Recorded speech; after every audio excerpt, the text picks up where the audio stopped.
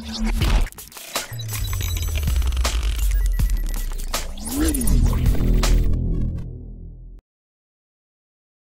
Friends இந்தியாவுக்கும் தென்னாப்பிரிக்காவுக்குமான T twenty match ஆனது நடந்துட்டு வருது. இதுல ஃபர்ஸ்ட் டி டுவெண்டி மேட்ச்ல பாத்தீங்கன்னா நம்ம இந்திய அணியானது சவுத் ஆப்பிரிக்கா அணியை இருபத்தெட்டு ரன் வித்தியாசத்துல வின் பண்ணியிருப்பாங்க. ரெண்டாவது டி டுவெண்டி மேட்ச்ல ஃபர்ஸ்ட் களமிறங்கின நம்ம இந்திய அணியானது தவான் பாத்தீங்கன்னா பதினாலு பால்ல இருபத்தி நாலு ரன் எடுத்திருப்பாங்க. மூணு ஃபோர்ஸ் அடிச்சிருக்காங்க ரெண்டு சிக்ஸ் அடிச்சிருக்காங்க. சுரேஷ் ரெய்னா இருபத்தி நாலு பால்ல முப்பது ரன் எடுத்திருக்காங்க அஞ்சு ஃபோர்ஸ் அடிச்சிருக்காங்க. விராட் கோலி பாத்தீங்கன்னா அஞ்சு பால்ல ஒரு ரன் மட்டுமே எடுத்திருக்காங்க. மனிஷ் பாண்டே 48 பால்ல 79 ரன் அதிரடியா அசத்திருக்காங்க. ஆறு ஃபோர்ஸ் அடிச்சிருக்காங்க மூணு சிக்ஸ் அடிச்சிருக்காங்க.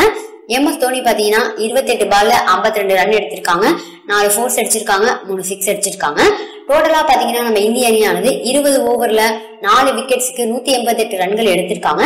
இந்த மேட்சிலே ரொம்ப மோசமான விஷயம் என்ன அப்படின்னு பாத்தீங்கன்னா நம்ம இந்திய அணியோட துவக்க வீரர் ரோஹித் சர்மா ஒரே பால்ல டக் அவுட் ஆயிருப்பாங்க.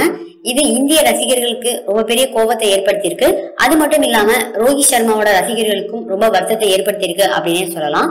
இந்நிலையில நம்ம இந்திய அணி பாத்தீங்கன்னா இருபது ஓவர்ல நாலு விக்கெட்ஸுக்கு நூத்தி எண்பத்தெட்டு ரன்கள் எடுத்திருக்காங்க. தென்னாப்பிரிக்க அணியானது பதினெட்டு புள்ளி நாலு ஓவர்ல நாலு விக்கெட்ஸ்க்கு நூத்தி எண்பத்தி ஒன்பது ரன்கள் எடுத்திருக்காங்க. சவுத் ஆப்பிரிக்க அணியானது ஆறு விக்கெட்ஸ் வித்தியாசத்துல நம்ம இந்திய அணியை இந்த மேட்ச்ல வின் பண்ணியிருக்காங்க. இந்த மேட்ச்ல பாத்தீங்கன்னா நம்ம ரோஹித் சர்மா கோல்டன் டக் ஆயிருப்பாங்க.